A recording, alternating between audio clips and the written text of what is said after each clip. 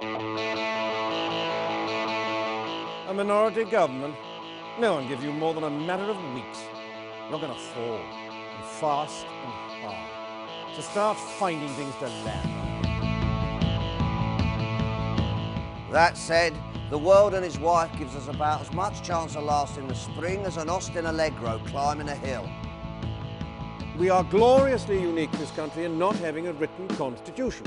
What we do have are traditions, gentlemen's agreement. This parliament was once the seat of the democratic world. Now it's the planet's biggest jumble sale. It's so bloody typical, this self-destructive bloody country.